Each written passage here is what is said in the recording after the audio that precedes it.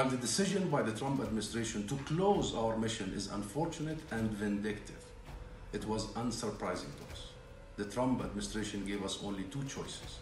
Either we lose our relationship with the administration or we lose our rights as a nation.